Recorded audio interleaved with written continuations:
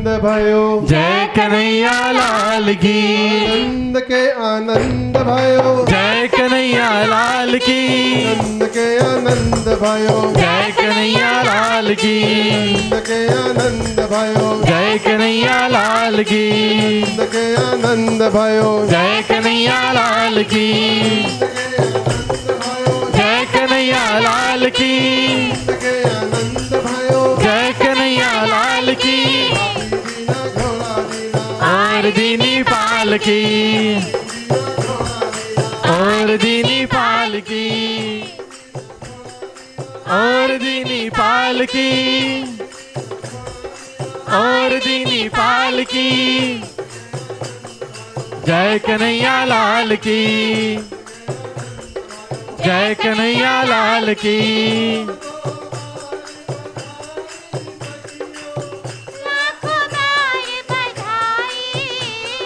सौ सौ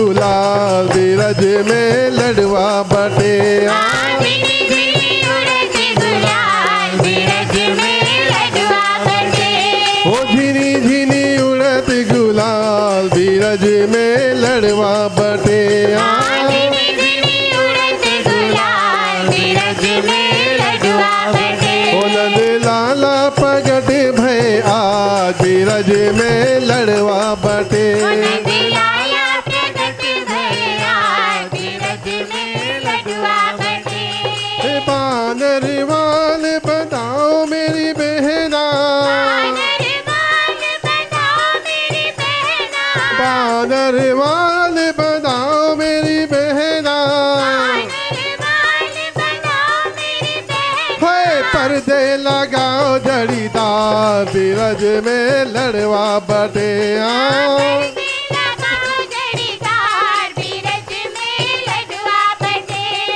पर्दे लगाओ जड़ीदार धीरज में लड़वा बटे हाँ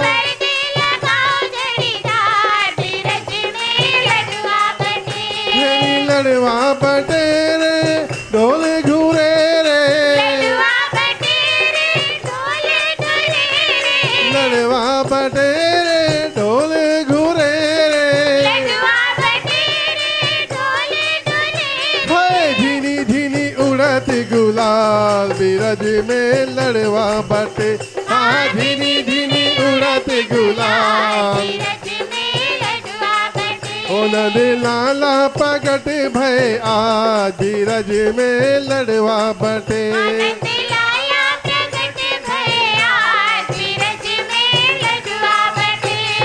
मोतियनी चौक उड़ाओ मेरी बहना। मोतियन चौक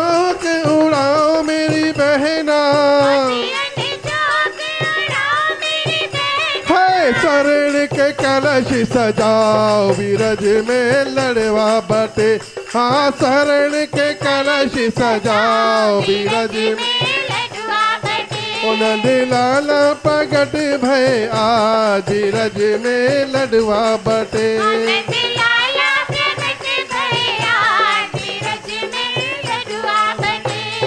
लड़वा बटे।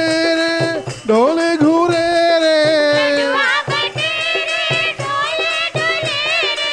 बेटवा पटे रे ढोल घुरे रे।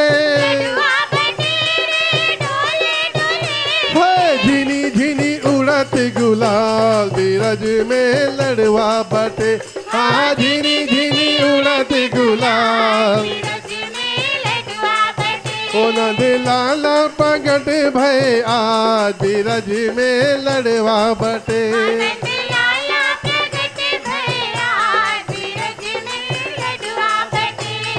के सन कसूरी की भर दो तलैया।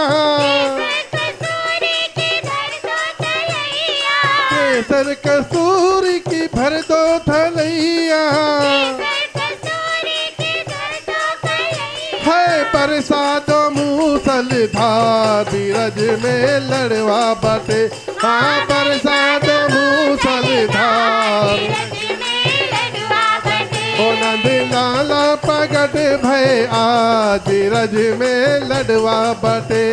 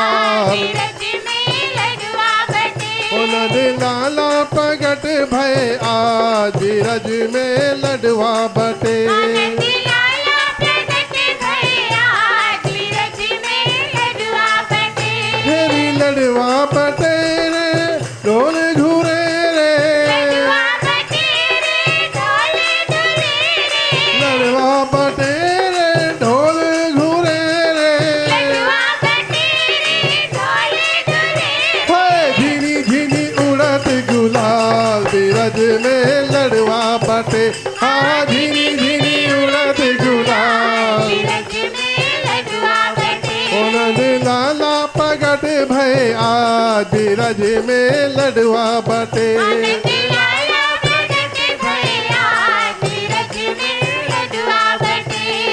छठी पूजा गीत सब गाओ। छठी पूजा गीत सब गाओ। मोहरों की कर दो बोछा बीरज में लडुआ बटे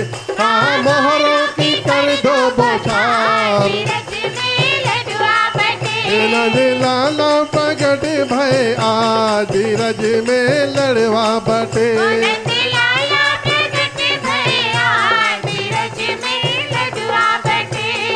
लड़वा बटे। डोले घूरे रे। लड़वा बटे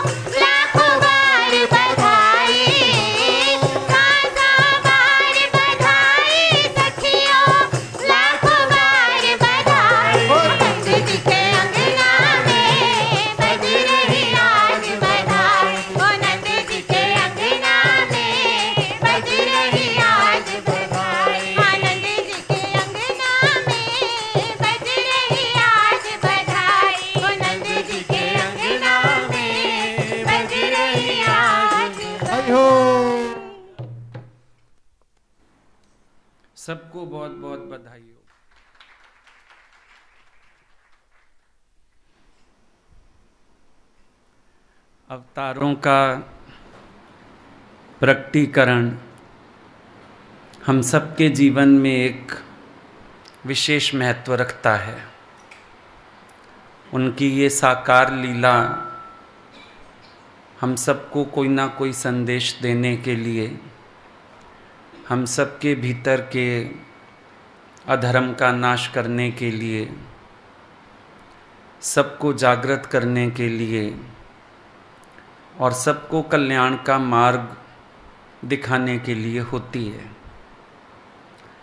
जब जब अवतार आए, उन्होंने अपने जीवन से सबको एक विशेष संदेश दिया।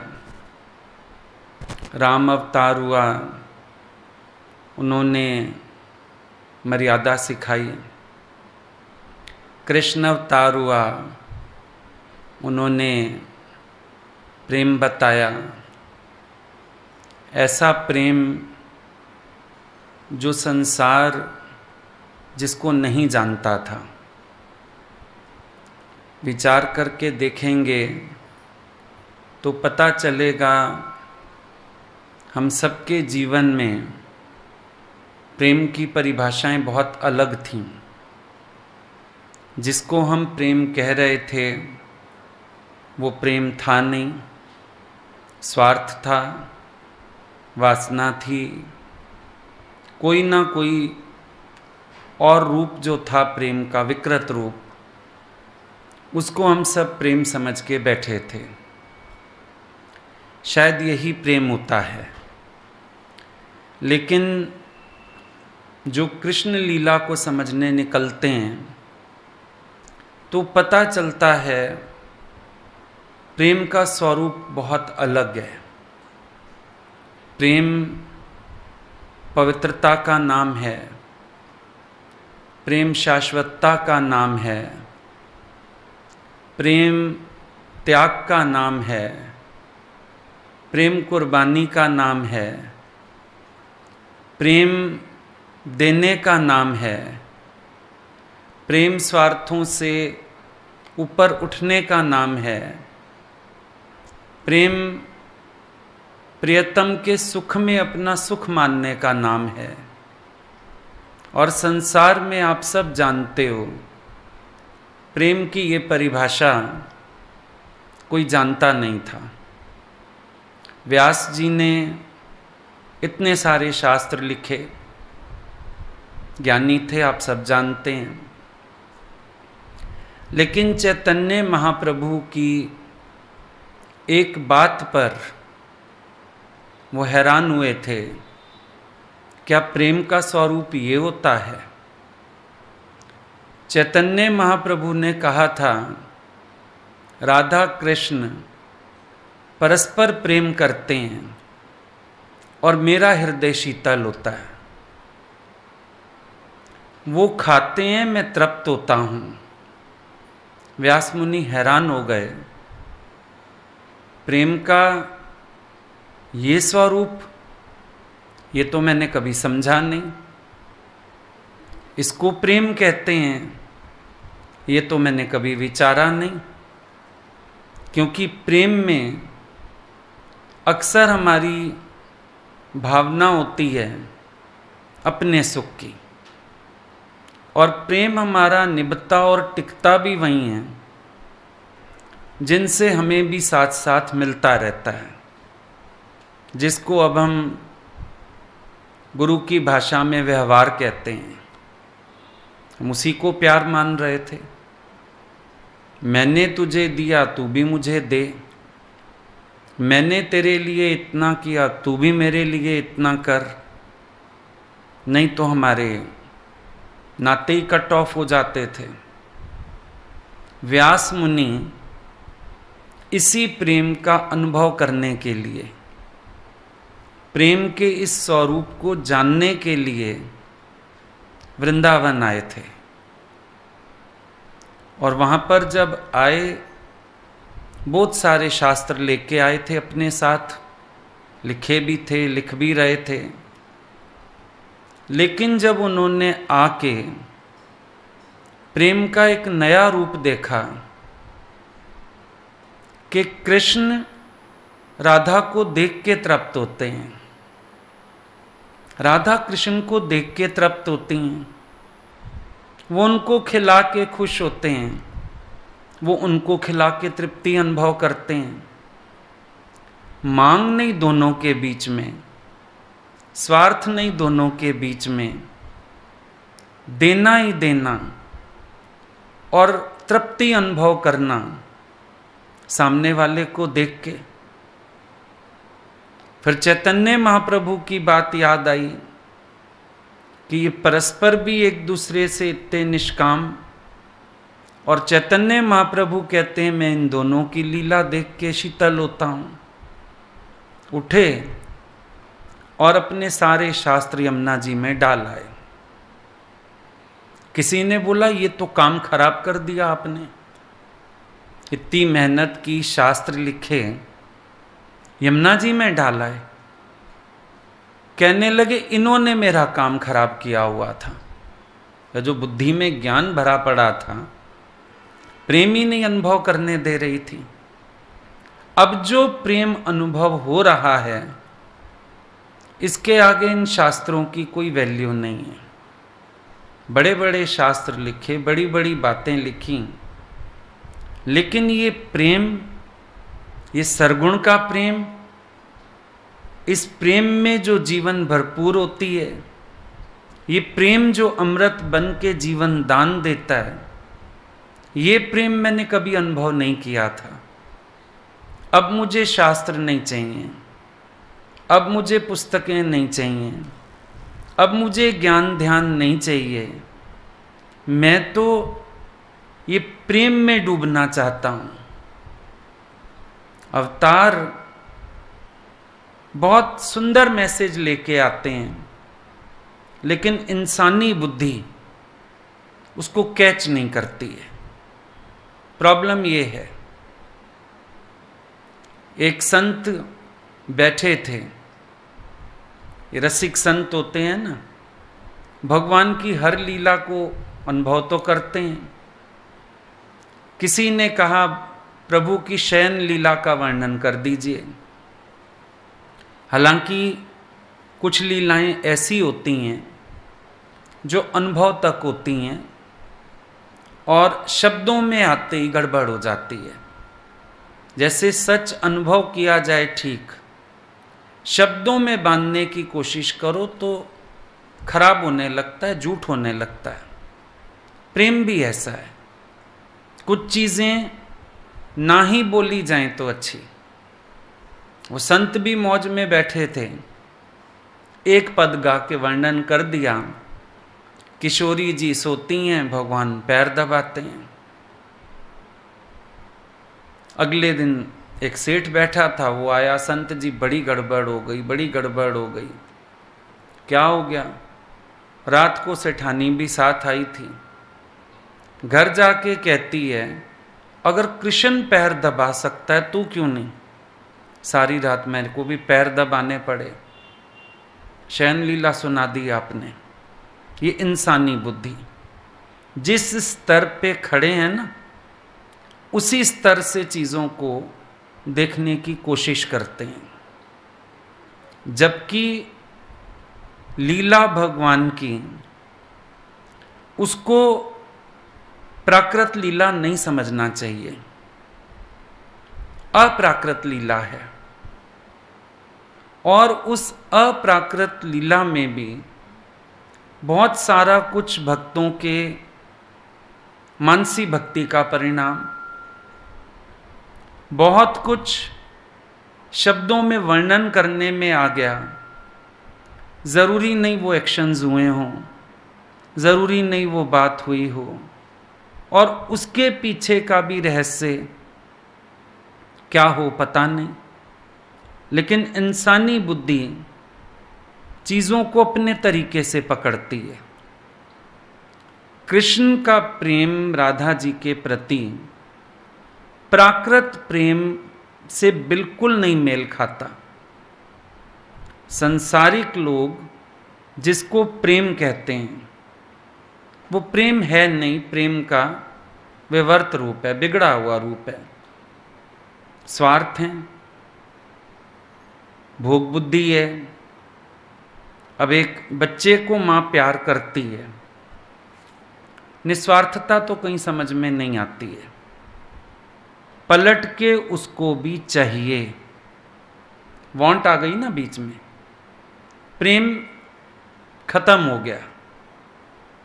प्रेम का आधार जब स्वार्थ बन जाएगा, प्रेम खत्म हो जाएगा। प्रेम का आधार कुछ पाना बन जाएगा। पुरुष प्रेम करता है स्त्री से, सुख पाना चाहता है, भोगना चाहता है। प्रेम का आधार वो बन गया। समझो कोई स्त्री वैरागी हो जाए आदमी कहेगा, शादी क्यों की थी? निकल जाए यहाँ से। चाहे कितनी बड़ी उम्र हो जाए। तो क्या आधार है? स्वार्थ आधार हुआ ना? स्वार्थ के आधारों पर जो प्रेम निभाते हैं, क्या वो प्रेम को जानते हैं? नहीं जानते हैं। प्रेम अनुभव होता है जब साकार कृष्ण मिलता है और वो बेशर्त देता है। उसके प्रेम में स्वार्थ, शर्त ऐसी कोई गुंजाइश नहीं मिलती। प्रेम की खातिर प्रेम करता है। हमारे खातिर हमें प्रेम करता है। आप विचार करो आपके अस्तित्व को किसी ने प्यार नहीं किया। शायद आप अपना अस्तित्व इसीलिए भूल भी गए, खो भी बैठे। ध्यान दो, आपने अगर कुआरेपन में याद करो तो माँ बाप को अपनी चिंता, शादी के बाद ससुराल वालों को अपनी चिंता। आपका कोई अस्तित्व नज़र आया आपको कहीं? ऐसे लगता है ना, मैं तो बस यूज़ हो रहा हूँ सबसे। हमारा अस्तित्व भी है कोई। दिखाई नहीं कहीं। हमारी कोई पहचान आज भगवान प्यार ना करते। राधा का अस्तित्व ससुराल से तो कुछ मिलता ही नहीं है। मिलता है? मायके से कोई उसके अस्तित्व की पहचान मिलती हो। ससुराल से उसके अस्तित्व की पहचान मिलती हो। नहीं मिलती ना? कृष्ण से उसके अस्तित्व की पहचान होती है। जब तक प्यार करने वाला, चाहे वो प्रेमी हो, चाहे वो प्रियतम हो, निष्काम ना हो, मेरे वजूद को वजूद नहीं मिलता। है मुझे खुद भी अपने वजूद की पहचान नहीं होती है। राधा के वजूद को प्रकट करने वाले भगवान हैं और भगवान के वजूद को प्रकट करने वाली राधा सहित सारी सखियाँ हैं। क्यों? कोई अपने को प्रकट नहीं करना चाहता, कोई कुछ नहीं चाहता, सब प्रियतम के अस्तित्व को अपने माशूक के अस्तित्व को प्रकट करके चलते हैं। ये प्रेम में उदारता, बड़ा उदार होता है प्रेम। कंजूस नहीं होता। संसार में हम प्रेम के नाम पे भी कंजूस हैं। कह दो किसी को कहेंगे, मुझे कुछ लेना है उससे। मतलब लेने में ही प्यार करोगे तुम, वरना नहीं। ऐसी भाषा भी बोलते हैं। मुझे कुछ लेना है क्या उससे? कोई बात नहीं, ना भी लेना हो तो भी प्रेम करो। मैं कोई धरा धराया हूँ उसका, गुलाम हूँ उसका। भाषा भी अजीब, सोच भी अजीब। हमारा प्रेम सामने वाले के अस्तित्व को मिटाने में लगा रहता है। अपने को प्रकट करने में, सामने वाले का अस्तित्व मिटाने में। हमारे प्रेम की चाल अच्छी नहीं है। हर व्यक्ति स्वार्थ में नंबर वन होना चाहता है। हर व्यक्ति अपना सुख भोग चाहता है। कोई किसी को अस्तित्व नहीं देना चाहता। कोई किसी के विचारों का सम्मान नहीं करना चाहता। कोई किसी को प्रेम करके ऊँचा नहीं उठाना चाहता। सब सोचते हैं, अगला मेरे अधिकार में रहे, मेरा अस्तित्व बना रहे, ऊँचा रहे, ये प्रेम है। मेंटेलिटी गलत है। पुरुष वर्ग की तो खास तौर पे बड़ी गलत मेंटेलिटी होती है। स्त्री को चू नहीं करने देना, अपनी हुकूमत में रखना, अपने हुक्म में चलाना, जैसा मैं कहता हूँ, जो मैं कहता हूँ, फिर कहेगा, मैं बहुत प्रेम करता हूँ। प्रेम उसको नहीं करते तुम। उससे मिलने वाले सुख को पत्नी खूबसूरत है। तुम खूबसूरती को प्यार करते हो, पत्नी को नहीं। तुम्हें सुख देती है। तुम सुख को प्यार करते हो, पत्नी को नहीं। कृष्ण अचा है। राधा से कुछ भी नहीं चाहिए। और प्रेम करते हैं। ये प्रेम की खासियत है कि वो चाहता कभी नहीं है। वो देता है। दानवीर, प्रेम माना दानी, महादानी। शायद बलि की कुर्बानी से भी ज़्यादा। वो होता है प्रेम। मीरा चाहती कुछ नहीं है। प्रेम कर रही है। प्रेम की परिभाषा है मीरा। प्रेम की परिभाषा है राधा, क्योंकि इनका अस्तित्व ही प्रेम से है। जिसने भगवान से स्नेह किया, उसको अस्तित्व मिला, शबरी को अस्तित्व मिला, केवट को अस्तित्व मिला, मीरा को अस्तित्व मिला, राधा को अस्तित्व मिला, कितने प्रेमी हैं जिन्होंने अगर भगवान से प्रीत की, उनको अस्तित्व मिला। देखो, प्रियतम से मांग नहीं होती। मिटते हैं मिटते हैं मिटते हैं। लेकिन उदारता प्रियतम की, वो अस्तित्व देता है। गुरु से चाहा नहीं तो मिटना ही चाहते हैं उनके आगे। पर उन्होंने हमेशा अस्तित्व बढ़ाया। ये सच्चे प्रेम की निशानी है। आप शादी करके आए लव मैरिज करके भी आए। शादी होने के बाद से ही अस्तित्व मिटना शुरू। सोचा तो ये था, ये ज़िंदगी भर ऐसे चलेगा। अब शादी हो गई है। अब ना वो बातें नहीं है। अब तू समझ के चल अस्तित्व को रबड़ लेके उसने मिटाना शुरू कर दिया। देख लो अनुभव करके। हर कोई अस्तित्व मिटा रहा है दूसरे का, अधिकार में। लेकिन प्रेम इसका नाम नहीं है। एक बार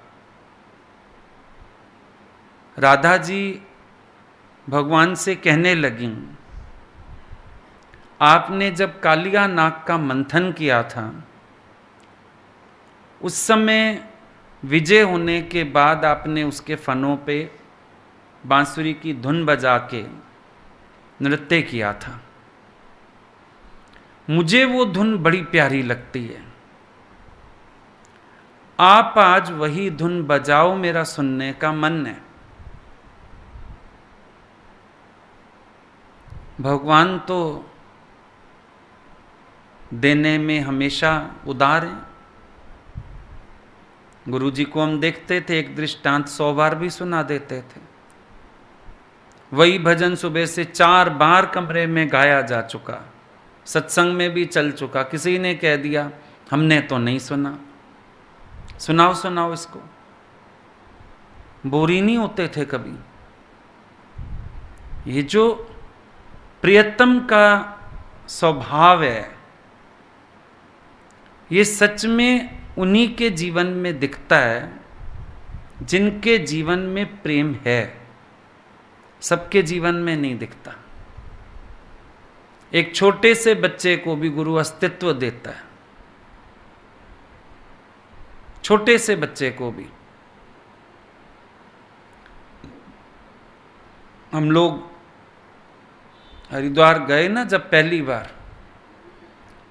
भगवान आए दोपहर को। हमको बोला था, हमारी ट्रेन पहुंचेगी जिस दिन, तुम एक दिन पहले पहुँचना। स्टेशन पे हम लोगों को लेने आना। ठीक है। जब दोपहर को ट्रेन पहुँची, घर आए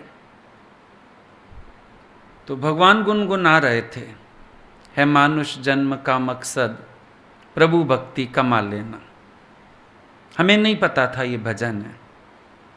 हमने ऐसे ही पूछा, भगवान, आप क्या गुनगुना रहे हैं? अरे, ये भजन है नया। अभी किचन भी सेट नहीं हुई, सामान भी सेट नहीं हुआ। लड़कियों को आवाज़ दे के बोलते हैं, पहले इसको भजन सुनाओ। एजी क्या थी उस समय? एक छोटे बच्चे को भी अस्तित्व देना। दरअसल ना वो नाम रूप को अस्तित्व देते हैं, ना वो किसी स्वार्थ को अस्तित्व देते हैं, वो प्रेम को अस्तित्व देते हैं।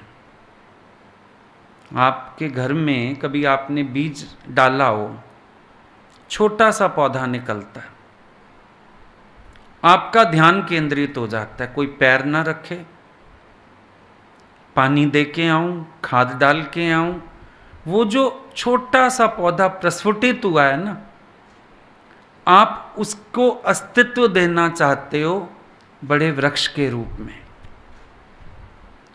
ये प्रियतम देखता है, मेरे प्रेम का पौधा कहीं प्रस्फुटित हो रहा है, उसको अस्तित्व देने में लगता है। उसके संकल्प, उसकी भावनाओं की पूर्ति में लगता है।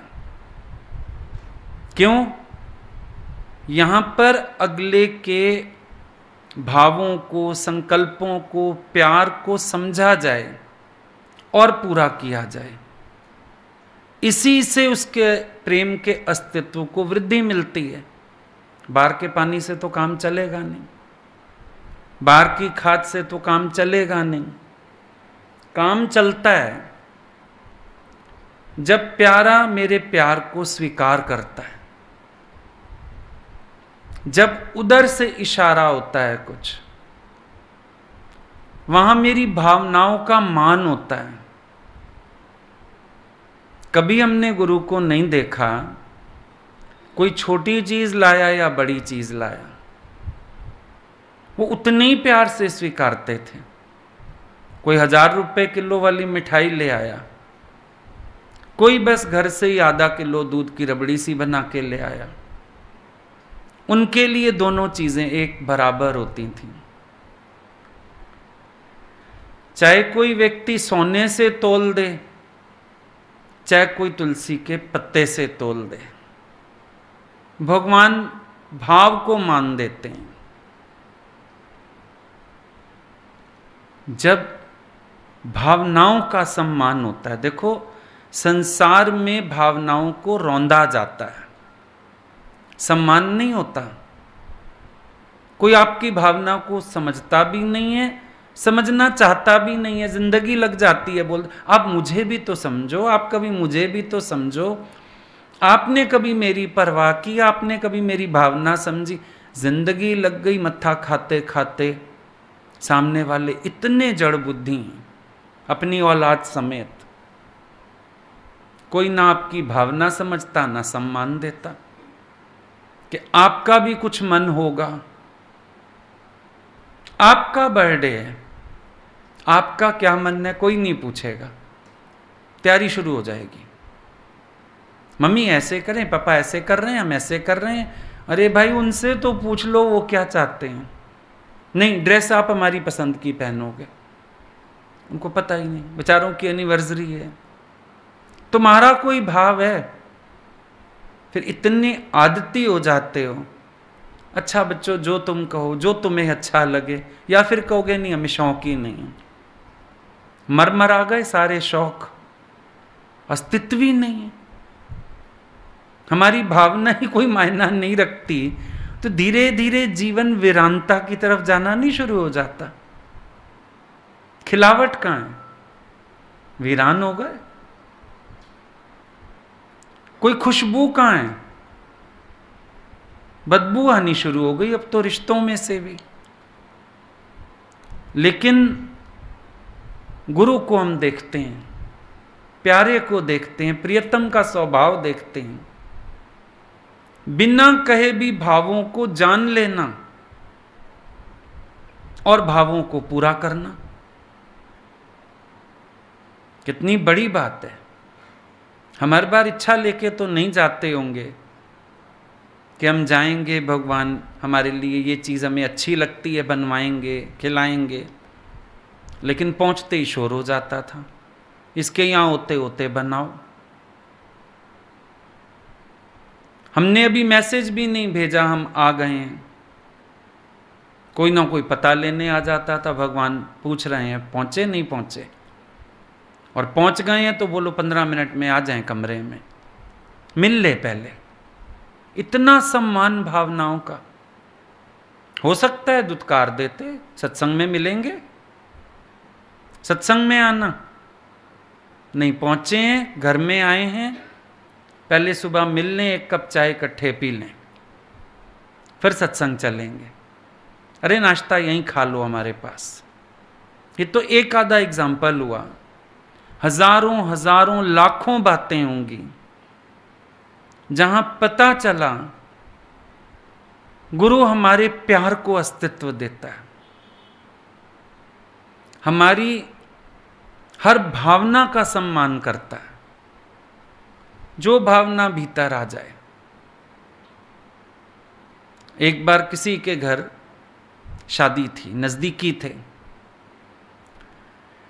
उन्होंने कार्ड तो भेजा था, हमारे यहाँ से, ग्रुप पहले से ही गए हुए थे दो।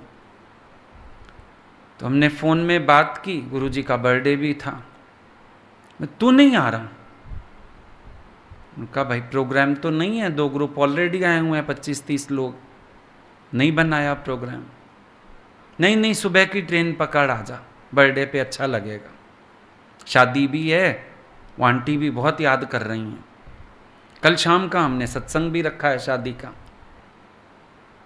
पहुँच गए। हमारे ही ग्रुप में से किसी को भेजा, जाओ स्टेशन से ले आओ। कोई गाड़ी वाड़ी भी नहीं थी, रिक्शा में ही जाना था। मैंने कहा, क्यों आए लेने? बोला, भगवान कह रहे नहीं, ले आओ जाके स्टेशन से। चलो, पहुँचे। हमने पहली बार वो भजन गाया। अब पता भी नहीं था, ज़्यादा याद भी नहीं होगा, शादी का सत्संग है क्या? नया भजन था ये। मन्ना सांवरे नु किस तरह पाईदा? बैठते ही भगवान ने बोला, पहले तुम भजन गाओ। बैठ चुके थे सत्संग में। पहले तुम भजन गाओ। सुबह की ट्रेन पकड़ी थी छः बजे पहुँचती थी। सात के करीब पहुँचे होंगे। भगवान बैठे ही थे। पहले तू भजन गा। ये भजन गा दिया। तो जिनके घर फ़ंक्शन था, बोले, शादी का सत्संग ने क्या गा दिया? उनको तो कर दिया सुना, अनसुना भगवान ने। पूरा सत्संग इस भजन पे किया। और ऐसा बढ़िया पूरा ग्रस्त से रिलेट भी कर दिया। हम लोगों से भी रिलेट कर दिया। सब कहने लगे, आज तो मज़ा आ गया शादी का सत्संग सुन के। ये प्यारों की रीत होती है। ये प्रियतम की रीत होती है। प्रीत की रीत भगवान के सिवाय कोई निभानी जानता ही नहीं है। संसार को पता ही नहीं प्रीत की रीत क्या होती है। लेकिन प्रीत की रीत प्रियतम निभाता है हमसे। प्रियतम ऐसा मिले, कृष्ण जैसा, वो निभाता है। अब जैसे ही राधा जी ने फरमाइश की, भगवान कहते हैं, वो तो मुझे भी बड़ी प्यारी लगती है धुन। मेरी भी पसंदीदा धुन है। जैसे हम कहते थे ना, भगवान, आपने चीज़ हमारे लिए क्यों बनवाई? कहते, तेरे लिए थोड़ी बनवाई, मुझे खुद बहुत पसंद है। तेरे बहाने हम खा लेते हैं, हमारे बहाने तू खा लेता। जवाब ही नहीं होता था आगे देने के लिए। लेकिन अपने पे ले लेना, सामने वाले पे एहसान नहीं। प्रीत की रीत सीखते जाओ एक एक कदम पे। इन प्यारों से प्यार की रीत सीखते जाओ एक एक कदम पे। उसने गाना आता है टीवी में, कोई पत्थर से ना मारे मेरे दीवाने को। आपको कॉमन लगता है कि शायद लोग मार रहे होंगे पत्थर। नहीं, प्रियतम हमेशा ध्यान रखता है, मेरी दीवानगी में इसको कोई ताना ना पड़े किसी से। भाई, कोई कह देता, बनाने वाला ही कह देता। तुम आ जाते हो, हमारा काम बढ़ जाता है। कहते थे, मुझे अच्छी लगती है, मैं तो इसलिए बनवाती हूँ। नाम तेरा हो जाता है। ये रीत है प्रेम की। अपने ऊपर लेना बात को। सामने वाले का मान बनाए रखना। सामने वाले को ऊँचा रखना। भगवान कहते हैं, राधा, तुझे ही नहीं, मेरी अपनी पसंदीदा धुन है। मैं तो खुद उसको बार बार बजाना चाहता हूँ। मुझे बहुत अच्छी लगती है। प्यार करो तो ऐसा करो। कभी तुम्हारे आशिक को ये महसूस ना हो कि तुम भार हो उसके ऊपर। उसको तुम्हारी मर्यादाएँ करनी है, उसको तुम्हारे अकॉर्डिंग चलना है। कुछ नहीं। उसको कंफर्टेबल फील होना चाहिए। ये प्रीत की रीत है। आप सिर्फ़ किसी को बैठने में पूछोगे कंफर्टेबल हो ना? कंफर्टेबल तो हो ही जाएगा, टांग इधर उधर कर लेगा, ऊँची कर लेगा। कंफर्टेबल एटमॉस्फेयर है, वो देखो। तुम्हारी बातचीत कंफर्टेबल है, वो देखो। बैठने में कंफर्टेबल करना किसी को क्या मुश्किल है? आइए आइए कंफर्टेबल हो जाइए। हो ही जाएगा, कितनी देर बैठेगा डिस्कंफर्ट होके। एक सत्संग में नहीं बैठते, तुम डिस्कंफर्ट होके थोड़ी थोड़ी देर में हाथ पैर हिला ही लेते हो। कंफर्ट किससे होता है? कंफर्ट अंडरस्टैंडिंग से होता है। कंफर्ट प्यार से होता है। कंफर्ट एक दूसरे को समझने से होता है। कि किसी के साथ हम इतने कंफर्टेबल हो पाए, हम अपने साथ कंफर्टेबल हैं जितने। ये होता है प्यार। जब हमको ऐसा स्पेस सामने वाले से मिलता है कि जैसे मैं अपने साथ कंफर्टेबल हूँ, उतना मैं कंफर्टेबल फील कर पाऊँ, कितना ही नजदीकी रिश्ते में चले जाओ अपने घर जैसा नहीं लगता ना। कुछ ना कुछ होता है। हमारे घर ना ऐसे नहीं करते। हमारे घर ना इतने बजे उठते हैं। हमारे घर ना पता चल जाता है चार दंड रखे गए हैं। बुलाया तो प्यार से रहने। शादियों के बाद मायके ही चले जाओ। माँ भी टोक देती है। भाभी का तो राज़ी अलग हो जाता है, खैर। आप ही का घर है? दीदी, आप ही का घर है? दीदी का घर तो है, पर दीदी को थोड़ा भय में रहना पड़ता है। दीदी अपने घर जाके सुख की सांस लेती है। कंफर्टेबल हमारा प्यार है किसी से, हम उसके कंफर्ट जोन का ध्यान शारीरिक नहीं, मानसिक रखें। अगला मेरे पास बैठ के दिल से भी कंफर्टेबल है। अगला मेरे पास बैठ के उलझन तो नहीं महसूस कर रहा। ये प्रेम होता है। भगवान ने धुन बजानी शुरू की। अब फिर एक बात देखना।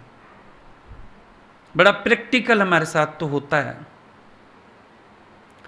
अगर कोई भजन हम अपनी मौज में आके सत्संग में गाते हैं उसमें हम कॉन्शियस नहीं होते। पर अभी कोई आ जाए, ये लोग कहीं, ये रिकॉर्डिंग करेगा। समझो? या ये लोग कहीं, आज भजन ये वाला गाइए रिकॉर्ड करना है।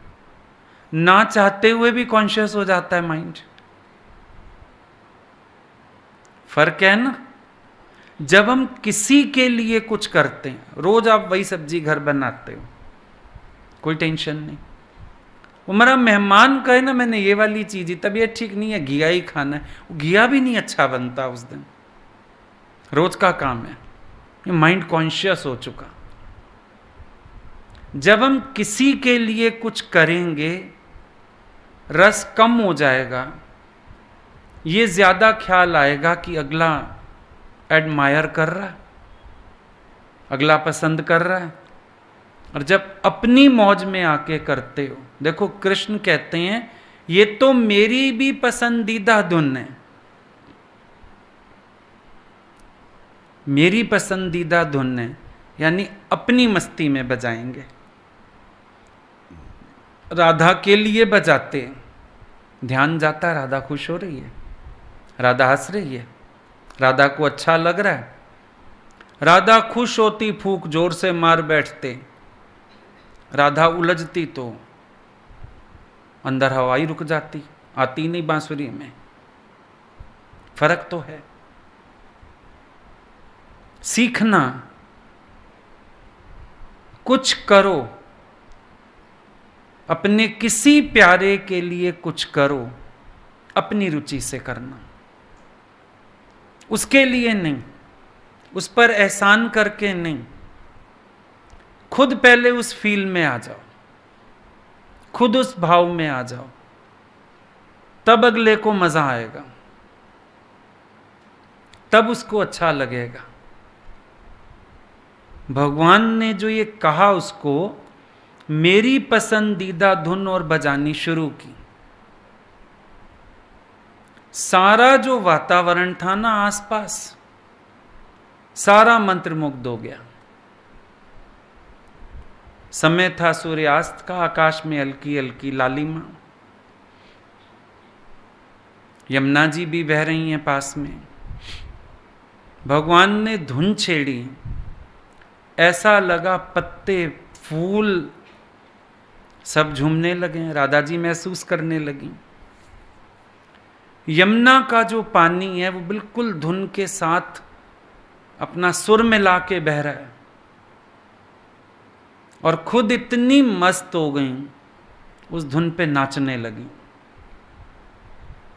खूब देर नाची और महसूस करने लगी जैसे मैं प्रेम से सरोबार हूँ। हमारा कोई भी कर्म चाहे किसी के कहने पर हो, अगर उसको अपनी पसंद का बना के करोगे, अगले के हृदय को छू जाएगा। भगवान राधा के कहने पे बांसुरी बजाते, राधा का हृदय ना छू पाते। पता है गुरु, हमारा हृदय क्यों छू लेता है? हमारे प्यार को समझ के प्यार करता है। हम अक्सर कहते हैं ना, हमारा दिल छू लिया उन्होंने, दिल छू लिया। कैसे छू लिया दिल? क्यों छू लिया दिल? क्योंकि वो जो करते हैं हृदय के भावों से करते हैं। तुम्हें पास बिठा के एक कप चाय भी पिला दें ना, वो भी दिल के भाव से। तुम्हें अमृत लगेगा, ऐसी चाय कभी नहीं पी। चाय में कुछ नहीं है। चाय तो तुम्हारे घर तो कई फ्लेवर्स की बनती होगी, तुम्हारे नौकर चाकर अच्छी बना के पिलाते होंगे, पर जिस भाव से पिलाई गई ना चाय में अमृत नहीं था, भाव में अमृत था।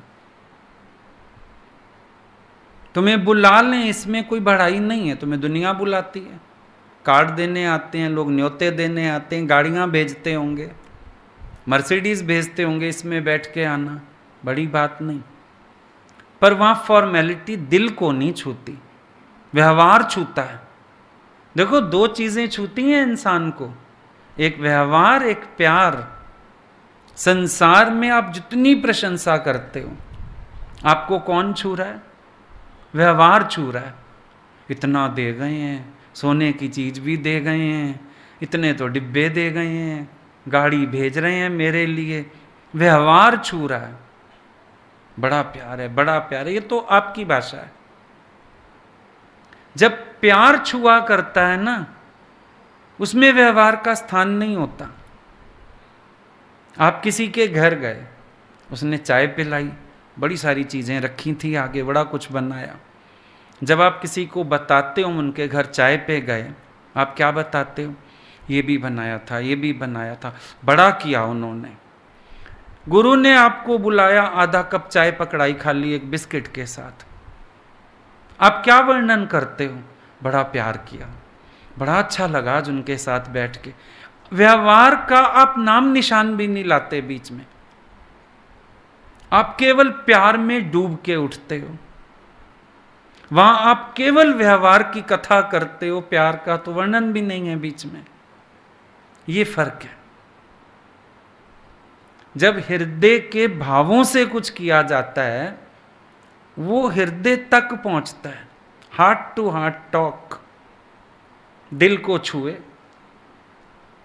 आपके पति ने आपकी आँखों में आँखें कई बार डाली होंगी, पर आई कांटेक्ट एक गुरु से मिल जाए। क्या छूता है दिल को? प्यार छूता है। उनका निष्काम भाव छूता है। वो जो मेरे प्यार को समझते हैं, वो छूता है। राधा जी के हृदय को उस धुन ने छू लिया, क्योंकि कृष्ण भाव विभोर होके व्यवहार के लिए नहीं, ये नाराज़ ना हो जाए इसलिए नहीं, इसको प्रसन्न कर लूँ इसलिए नहीं। पर मगन हो गए, जैसे मैं अपने लिए ही कर रहा हूँ। राधा जी ने महसूस किया, जैसे वो प्रेम से परिपूर्ण हो गई हैं, एकदम भरपूर हो गई हैं। कृष्ण, सोलह कला संपूर्ण है।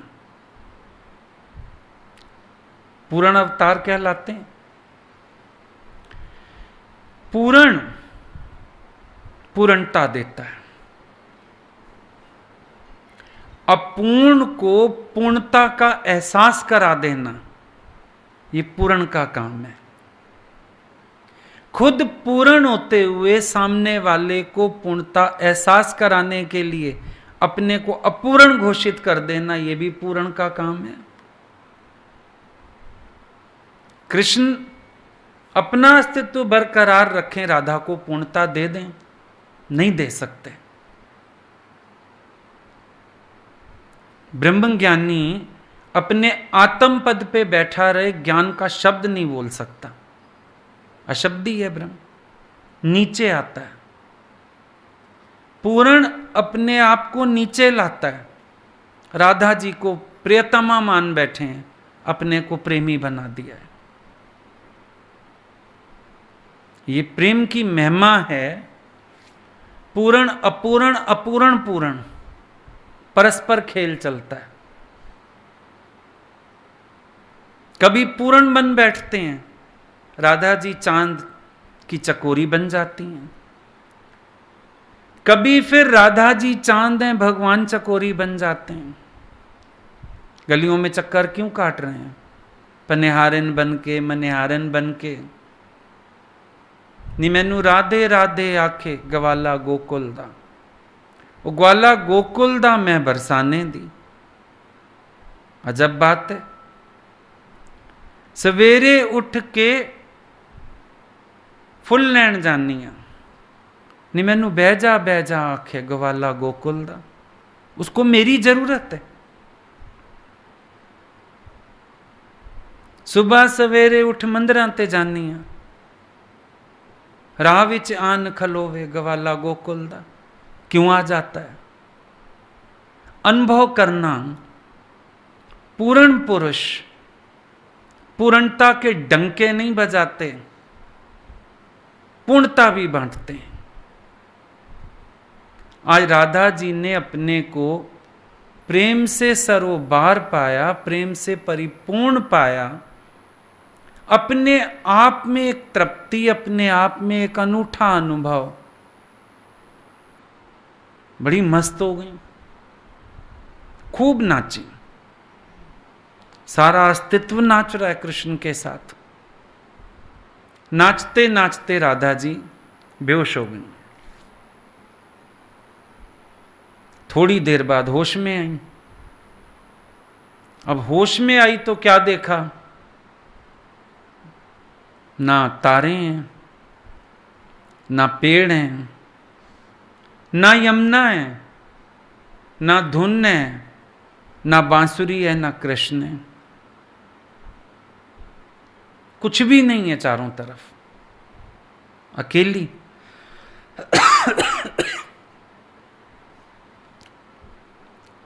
अब टीस उठी अंदर। परेशान सी हो गई।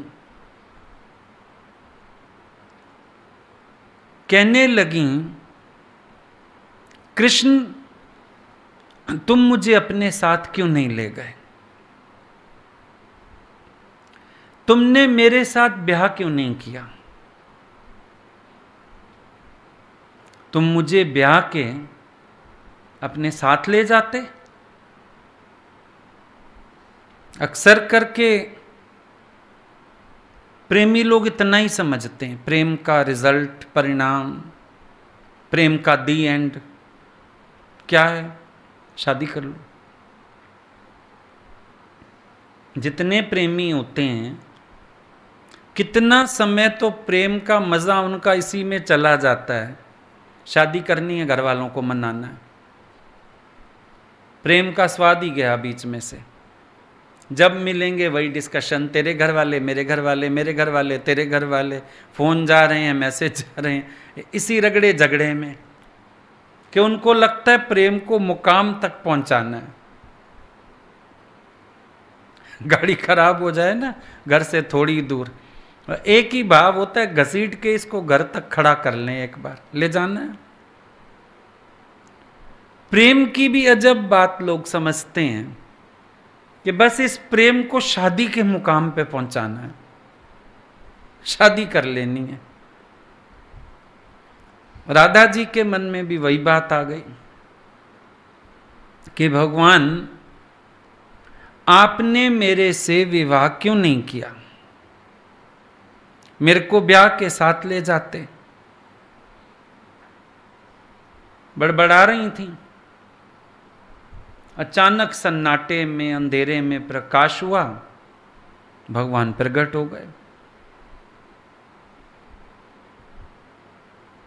बोले, मैंने वादा किया था ना। जब जब मुझे याद करोगी, तब तब मुझे पास पाओगी। मैं आ गया। प्रियतम मनई हर पल साथ। विवेकानंद सवालों के जवाब नहीं चाहता। वो तो पवारी बाबा के पास जाना चाहता है। रामकृष्ण आ गए लेकिन। प्रियतम मौजूद है। मीरा ज़्यादा विचलित हो जाती है, भगवान आ जाते हैं। नामा ज़्यादा विचलित हो जाता है, भगवान मूरत से सूरत में उतर आते हैं। भक्त को छोड़ें कैसे? भक्त को ऐसे व्याकुल कैसे होने दें? जैसे ही भगवान आए, राधा कहती है, मुझे मेरे प्रश्नों का उत्तर चाहिए। उत्तर दीजिए। आपने मेरे साथ विवाह क्यों नहीं किया? भगवान कहने लगे, राधा, ये जो प्रेम है और विवाह है, इन दोनों में अंतर है। प्रेम और विवाह का आपस में कोई संबंध ही नहीं है। अब देखो, यहाँ से प्यार का बेसिक नेचर शुरू हो रहा है। राधा का सवाल सांसारिक, कि प्रेम में तो शादी करनी है। क्यों नहीं की शादी मेरे से नाराज़ हो रही है? भगवान ने बात शुरू की, प्रेम और विवाह में अंतर है। और प्रेम और विवाह का आपस में कोई संबंध ही नहीं है। कहने लगी, ऐसा थोड़ी होता है। अरे, जिससे प्रेम होता है, हम उसी से ही तो विवाह करते हैं ना। कैसी बात कर रहे हैं आप? जिससे भी प्रेम होता है इंसान का, वो सोचता है, मैं इसी से शादी करूँगा। और आप कह रहे हो कि प्रेम और विवाह में भेद है। इन दोनों का संबंध नहीं है। ये कैसी बात कर रहे हो? भगवान ने बताना शुरू किया। बोले, राधा, प्रेम मार्ग है। प्रेम की कोई मंजिल नहीं होती। प्रेम मार्ग है। जिस पर हम चलते हैं और चलते ही रहते हैं आजीवन। इसकी कोई मंजिल नहीं है। ये तो आज़ादी का पथ है। प्रतीक्षा का पथ है। आज़ादी का पथ कैसे है? बंधन नहीं है। बंधन नहीं है तो घुटन नहीं है, घुटन नहीं है तो झगड़े नहीं है। जब तक प्रेम होता है अफेयर चलता है, आप देखो तब तक कोई बंधन नहीं होता, बंधन महसूस नहीं होता। आकर्षण बना रहता है। इंतज़ार होती है, दौड़ना है, भागना है। बंधन नहीं, घुटन नहीं, झगड़ा नहीं। और जब यही प्रेम बंधन बंध जाता है, अब फिर देखो हालत। अब घुटन है। प्रेम को, प्रेम पाश को तोड़ने का कभी मन नहीं करता। जब बंध जाओ बंधन में, उसको तोड़ के निकलने का हमेशा मन करता है। जब तक प्रेम होता है आज़ादी की मांग नहीं होती। और जब प्रेम नहीं है तो आज़ादी की मांग होने लगती है। बंधन में आज़ादी की मांग हो जाती है। विचार करके देखो। प्रेम, प्रतीक्षा प्रेम पंथ। प्रेम में बंधन नहीं। प्रेम अपने आप में मुक्त है। और विवाह, बोला विवाह पथ नहीं, मंजिल है। रास्ता खत्म है। दी एंड आ गया प्रेम का। मंजिल आ गई। सुना तुमने? अक्सर भगवान बोलते हैं, प्यार को प्यार रहने दो, रिश्तों का इल्ज़ाम ना दो। किसी ने गीता भगवान को बहन लिखा, किसी ने कुछ लिखा, भगवान हमेशा लिखते थे, मैं किसी की बहन नहीं, मेरे को रिश्तों से मत देखो। नाम, क्योंकि जहाँ पर आपने कोई बंधन बाँध लिया। आपको घुटन होनी शुरू हो जाएगी। सबसे बड़ी बात, जहाँ पर भी आपने कोई रिश्ता स्वीकार किया, अधिकार शुरू हो जाएँगे, बंधन झगड़े, उसके बाद प्यार की तो हो गई एंड भगवान बताते हैं, वे लोग कहते हैं, हम लव मैरिज करते हैं। मैरिज होते ही लव हो जाता है खत्म। अब मैरिज का बंधन निभाते रहो, घसीटते रहो। और यही एक सच्चाई भी है। इसीलिए भगवान कह रहे हैं, प्रेम जो है, ये पथ नहीं है। वो विवाह जो है, वो पथ नहीं है। विवाह की, विवाह तो एक मंजिल है अपने आप में। फिर विवाह में देखो त्याग नहीं है। स्वार्थ है एक दूसरे से। त्याग की तो भावना ही नहीं रह जाती। और अगर कभी कोई त्याग दिखता भी है, आधार उसका भी स्वार्थ होता है। अगर आप कोई त्याग करते हो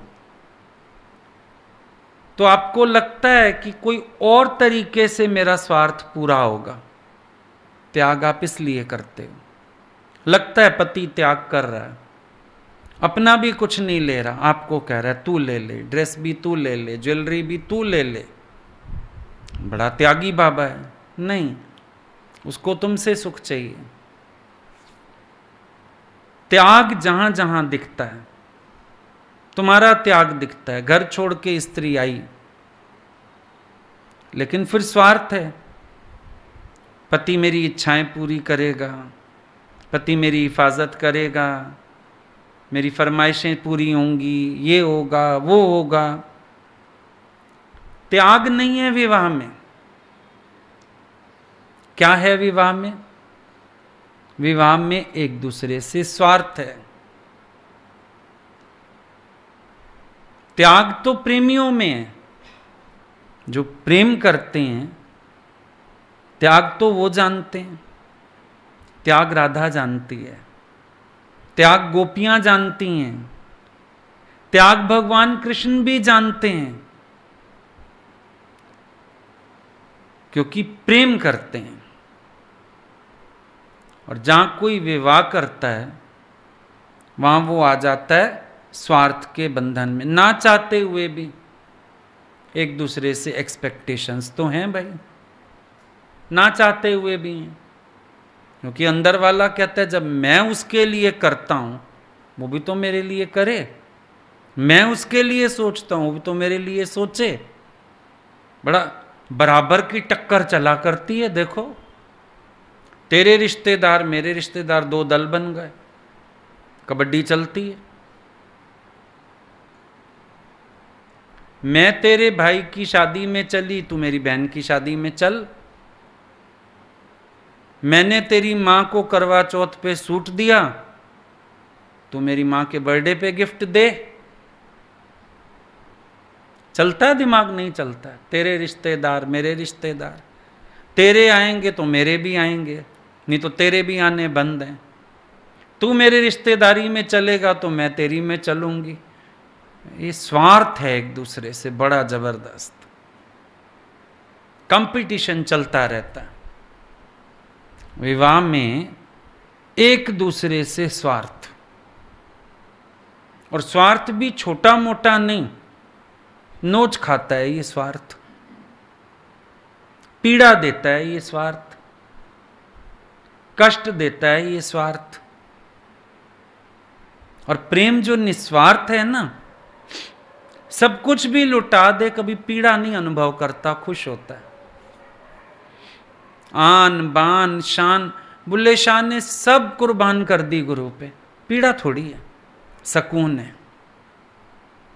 उनको पाने में सफल हो गया, उनका प्यार पाने में सफल हो गया। सकून है।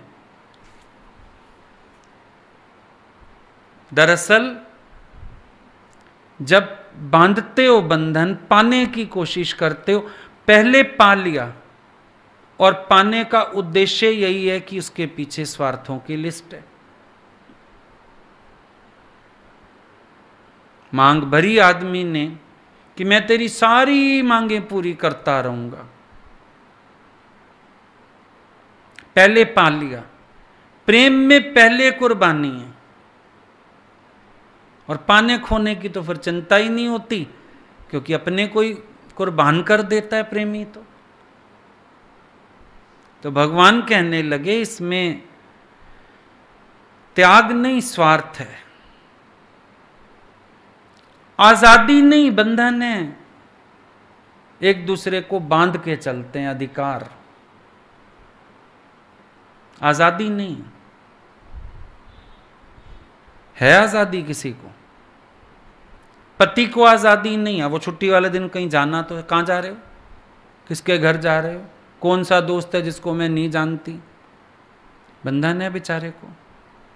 मर्ज़ी से सो नहीं सकता। उठ जाओ, छुट्टी वाले दिन भी आपको सोना ही है। कोई घर का काम करा लो। टीवी देख रहा है, बंद करो इसको। कहीं जा रहा है, क्यों जा रहा है? यही हालत पत्नी की। आज़ादी नहीं है, बंधन है। अच्छा फिर मज़ा देखो। अपने अपने को खुश करने के लिए ना कहते हैं हमारा प्यार बहुत है। एक दूसरे से पीछे बिना ना कुछ करते नहीं। लेकिन कितनी झूठी बात है। अपने मन को मना लिया तुमने इस मजबूरी में। इस मजबूरी में मना लिया दो दिन तुम्हारा मन हो भगवान के पास ही रहने का। पति देव आज्ञा करेंगे तब तो। वो मुँह बना लेगा, रूठने लगेगा। रुआसा हो जाएगा। बस। गए काम से। भगवान बोलते थे, बुढ़ापे में पत्नी ना मरे, बचपने छोटेपन में किसी की माँ ना मरे। रुल जाएगा नहीं तो। आधारित इतना हो जाते हैं। आधार बंधन बनते हैं। विवाह में आधारित तो बंधन है। खाने का भी आधार, चीज़ों का भी आधार, सेवा का भी आधार, सोने का भी आधार, पत्नी के बिना नींद नहीं आती। आधार, यही आधार बंधन है। कहीं चल मेरे साथ चल, मेरे साथ वापिस आ। ये ना मुझे रात को कहीं नहीं रहने देते हैं, क्योंकि मजदूरी डे नाइट है तुम्हारी। बंधन। भगवान कह रहे हैं, विवाह में आज़ादी नहीं है, बंधन है। इंतज़ार नहीं है, अधिकार है। प्रेम में इंतज़ार है। वेट करते हैं। लेकिन विवाह में अधिकार हो जाता है। इंतज़ार अधिकार में बदल गया। आप देखो, अंदर के भाव बदलने से तो पीड़ा होती है। और इंसान संबंध जोड़ना क्यों चाहता है? क्योंकि वो अंदर से इन भावों को खुद पलटना भी चाहता है। आप चाहते हो कोई मेरा हो, जिस पर मेरा पूरा हक हो, मैं अपने अधिकार में चलाऊं, अपने तरीके से बात करूँ, अपने तरीके से वर्तूं आप खुद भी अपने भावों को पलटना चाहते हो, इसीलिए तो परेशान होते हो। कई लोगों की शादी में टाइम लग जाए, बच्चे डिप्रेशन में आने लगते हैं। ऐसा है क्या? है ये कि जो ताने बाने बुनता है, जो दूसरों को अपनी बीवियों पे हुक्म चलाते देखता है, जो दूसरियों को अधिकार रखते देखता है, फिर उसको लगता है हाँ शायद ये सुख होगा। सुख नहीं है, दुख है। क्यों? किसी की आज़ादी खरीदने का मतलब अपनी आज़ादी बेचना। प्रेम भगवान ने इतना किया है राधा को, दुनिया में मशहूर है। है नहीं है? लेकिन स्वतंत्र कितना रखा है? बंधन में बांधा ही नहीं। अगली अपनी ज़िंदगी जी रही है। ये प्रेम का बेसिक नेचर, दादाजी बोलते थे, प्रेम स्वतंत्रता का उपहार है। प्रेम में उपहार मिलता है कि प्रेम हमेशा प्रेमी को आज़ाद रखता है, मुक्त रखता है, बंधन में नहीं बांधता, फंसाता नहीं है, अटकाता नहीं है, मुक्त छोड़ता है। जा, तू आज़ाद है, अपनी ज़िंदगी जी। कहने लगे, भगवान, विवाह में ना आँखों का मिलना है, ना दिल का धड़कना है, कुछ भी नहीं है। सच बात है, आँखें कौन मिलाता है? घूरते हैं एक दूसरे को। मिलाते थोड़ी हैं, घूरते हैं। दिल धड़कता थोड़ी है एक दूसरे के लिए। बैठता है दिल सारा दिन। परेशानी से। धड़कता है तो क्रोध में धड़कता है फिर ज़ोर से। गुस्सा आता है ना ज़ोर से, फिर दिल धड़कता है। तब भी जब सत्संग भी सुन लेते हो ना आप लोग आते हो, गुरु आपको कहते हैं, घर में दो गुरु प्रेमियों की हैसियत से रहो। तुम्हारे घर झगड़ा कभी नहीं होगा। कभी भी नहीं होगा झगड़ा। गुरु प्रेमियों की हैसियत से रहो। तुम प्रेमियों की हैसियत से नहीं रहते हो ना तो काम, क्रोध सब घुस घुस के आता है। क्रोध भी परेशान करता है। अब एक अगर गुरु से मिलने गया, दूसरा घर है, दिल धड़केगा कि नहीं? क्या बताया भगवान ने? कैसे मिले? कहाँ बैठे थे? क्या कर रहे थे? अगर प्रेमी बन जाओ एक दूसरे के आज भी दिल धड़केगा। आज भी अगले की निगाहें जो गुरु का दीदार करके आई है, ना लगेगा इसकी आँखों में ही दीदार कर लूँ। मेरे प्यारे की छवि आई होगी ना? सामने बैठा होगा, उनकी तस्वीर उतरी होगी ना इसकी आँखों में? यही दर्शन कर लूँ। प्रेमी के भाव, प्रेमी के विचार तो बहुत फ़र्क हो जाते हैं। राधा कहने लगी, कभी ना खत्म होने वाली रहा। त्याग, इसमें आनंद कैसा? अब आप जो रास्ता बता रहे हो, भाई ये तो ऐसा है ना, कभी ना खत्म होने वाली त्याग की राह है ये तो। इसमें आनंद कैसा? इसमें भी कोई आनंद है क्या?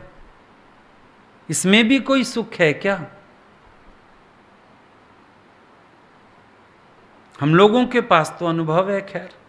गुरु के प्रेम में ज़िंदगी निकली कि नहीं? बिना कलेशों के, बिना शोर के, बिना हलचल के। राधा जी ने ऐसा नहीं कि राधा जी जानकार नहीं है। वो अपने तरह से जानकार हैं। फिर भी उन्होंने सबके खातिर प्रश्न पूछा है। हम लोगों को तो गुरु ने प्रैक्टिकली करा दिया कि भगवान का प्रेमी होके जिया जा सकता है। विवाह की बदबू लाने की ज़रूरत नहीं, भोग बुद्धि लाने की ज़रूरत नहीं, तुम इस प्रेम को जी सकते हो, खूब आनंदित हो सकते हो। तो राधा जी कहते हैं, इसमें आनंद कैसा? भगवान कहने लगे, राधा मैंने अनेक विवाह किए हैं।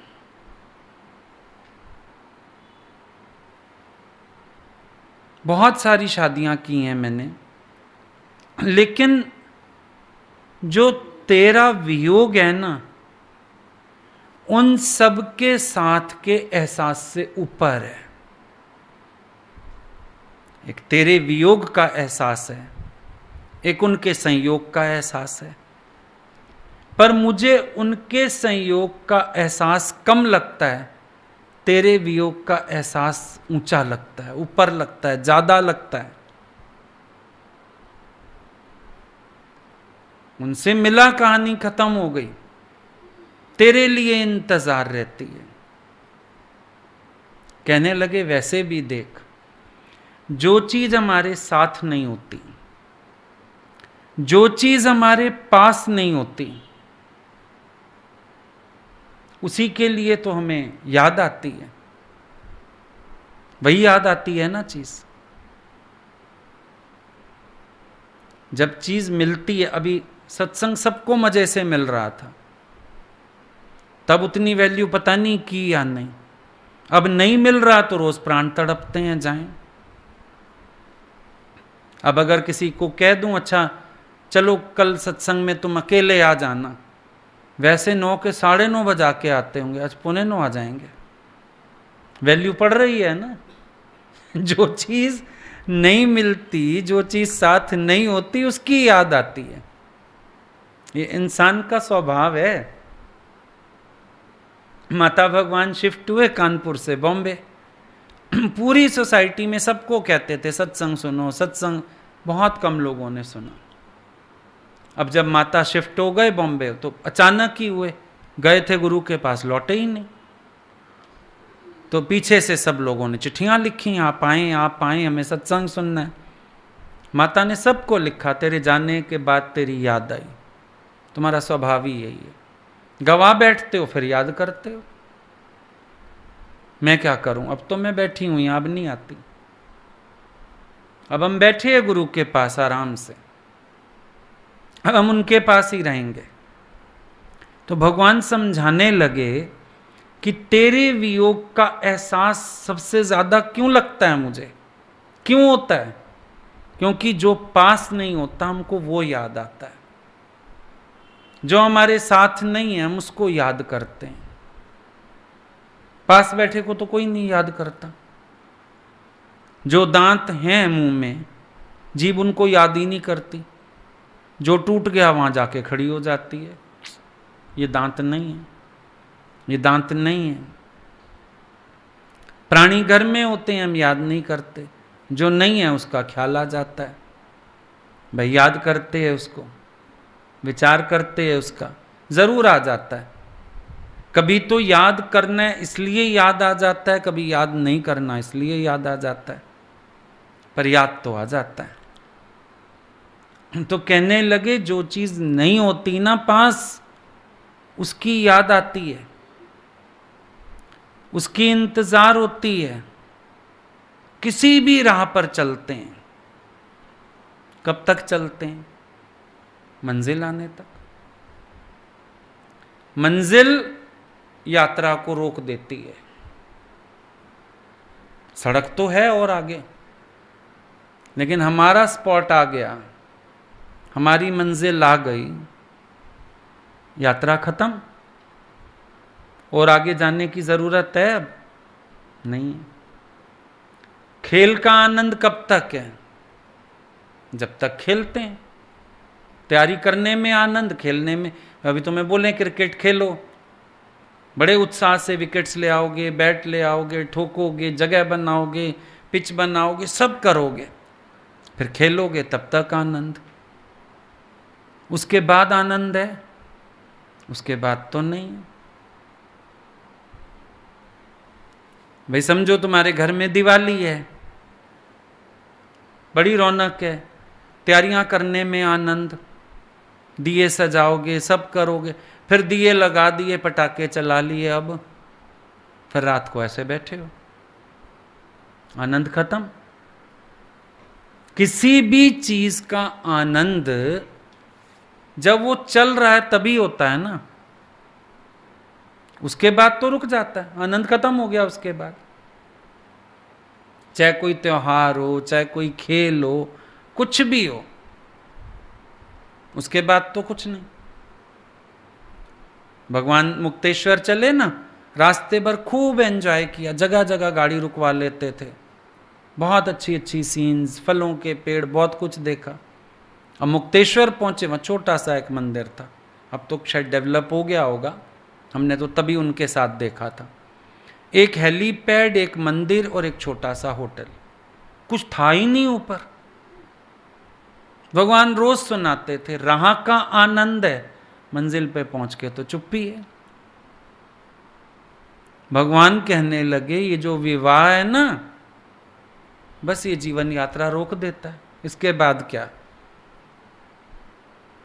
अपने आप ही मुँह से निकलता है। कोई कहेगा, बेडोल होते जा रहे, अब किसने पसंद करना, जिसने करना था कर लिया। मर गया उत्साह। देखो, विवाह ने यात्रा रोक दी। पढ़ना, वो रुक गया। कुछ सीखना, वो रुक गया। सब रुक गया। हम ना पढ़ रहे थे, फिर पढ़ा क्यों नहीं? पढ़ते पढ़ते शादी हो गई। विवाह ने सारी यात्राएँ रोक दी तुम्हारी। पढ़ते पढ़ते शादी हो गई, स्टॉप हो गया। मैं ना ये करना चाहता था, फिर फिर शादी हो गई। कितनी जगह तुम्हारी शादी की टांग अड़ जाती है। फिर शादी हो गई, फिर शादी हो गई, फिर शादी हो गई, यात्रा रुक गई। जीवन यात्रा को विराम आ गया। आदमी को पूछो, और तरक्की करता, और बिज़नेस बढ़ाता, और पढ़ाई कर लेता। शादी हो गई बीच में। शादी हो गई, यात्रा रुक गई। प्रेम की यात्रा विवाह रोक देता है।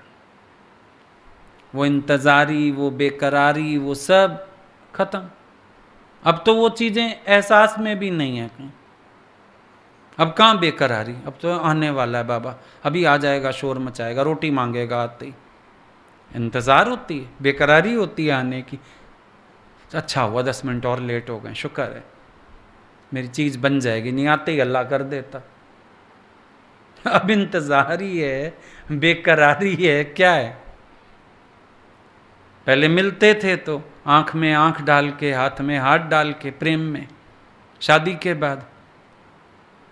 आँख से घूरना, हाथों से हाथापाई पहले फूल झड़ते थे मुसेरे तुम बोलती हो, फूल झड़ते हैं। अब कभी प्यार से बोल लिया कर, शूल झड़ते हैं। रोज कहेगा कभी प्यार से भी बोल लिया कर, कभी इज़्ज़त भी कर लिया कर। देखा?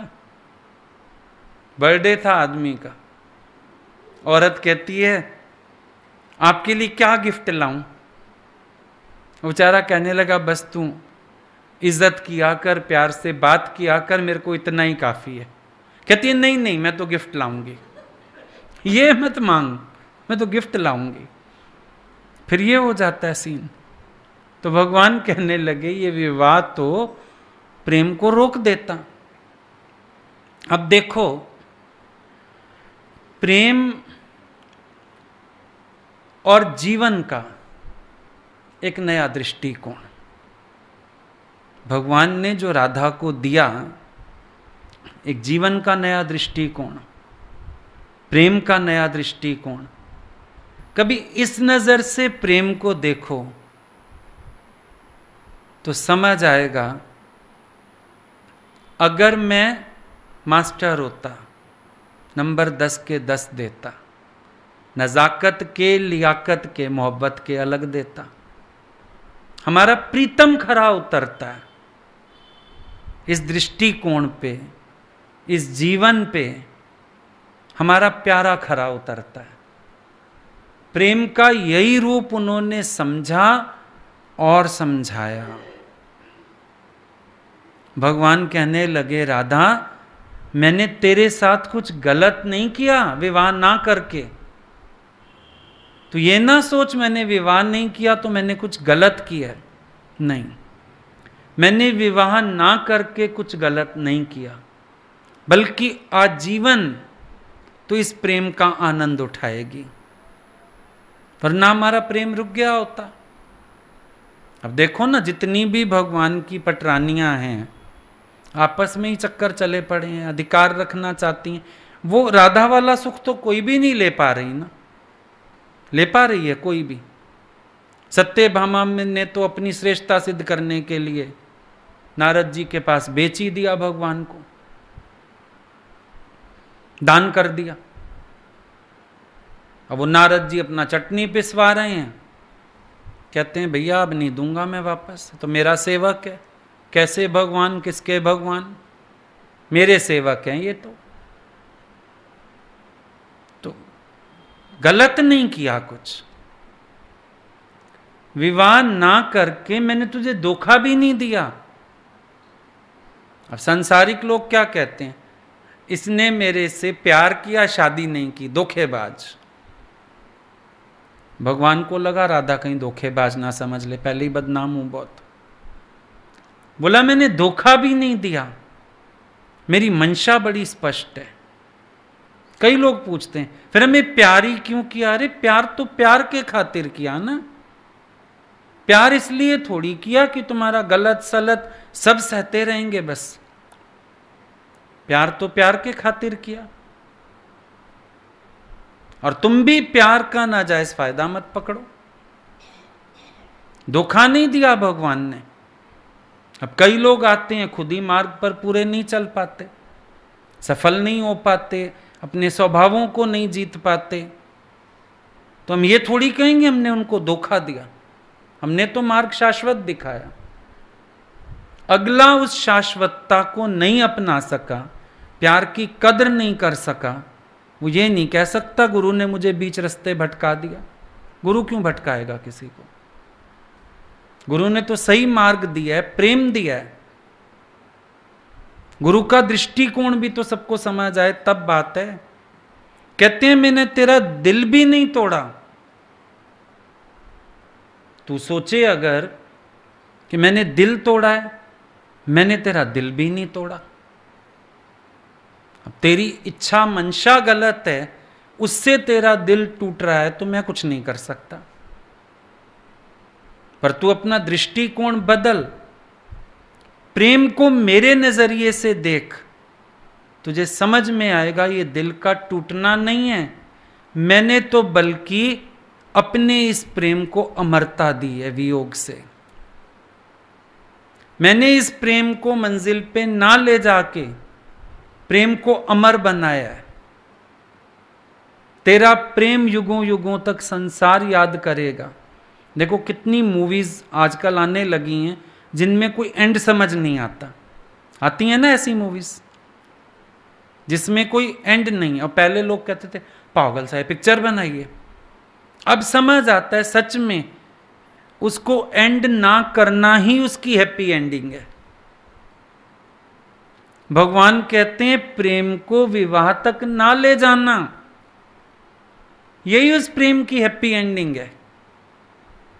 वरना तो सैड एंडिंग हो जाती है हमारे प्रेम की भी। फिर वो प्रेम अमर भी ना होता हो तो सांसारिक प्रेम हो जाता। दुनिया में लोगों ने प्यार किया, शादी की बात खत्म हो गई। राधा मैंने सबसे बड़ा इनाम तुझे और अपने को दिया है। हमारा ये प्रेम अमर है। हमारा ये प्रेम किसी मुकाम पे नहीं पहुँचा। हमारे दिलों की धड़कने एक दूसरे के लिए आज भी वही, हमारा प्यार वही, इंतज़ार वही। युगों युगों तक हम परस्पर चाँद चकोरी बनते रहेंगे। मैं चाँद, तू चकोरी, तू चाँद, मैं चकोरी। अब सारी बात भगवान ने उसको समझा दी और बात समझाने के बाद भगवान अदृश्य तो हो ही जाते हैं। फिर भगवान अदृश्य हो गए, अचानक उभरे थे। अब राधा उठी, लेकिन उसके मन में कोई सवाल नहीं था, कोई शंका नहीं थी, कोई शिकायत नहीं थी, क्योंकि वो प्रेम का असली अर्थ जान चुकी थी। प्रेम का असली स्वभाव जान चुकी थी। प्रेम की महिमा को महसूस कर चुकी थी। तो ये अवतार, कृष्ण अवतार, गुरु आए कृष्ण रूप हो करके इनका मकसद एक ही, हम लोगों को प्यार की असली परिभाषा समझाना। और प्रैक्टिकली उस प्रेम की बाजियों में खरा उतारना। ये अवतार की महिमा होती है।